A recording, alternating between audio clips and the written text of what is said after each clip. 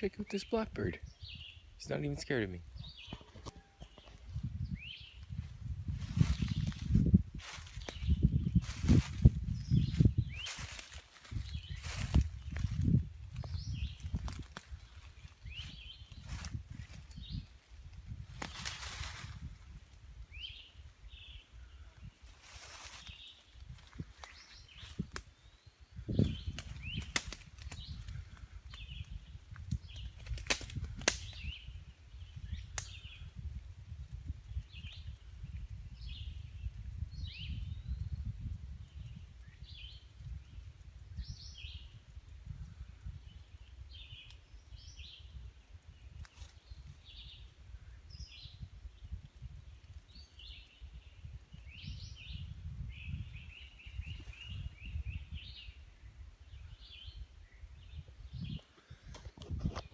Never seen anything like this before.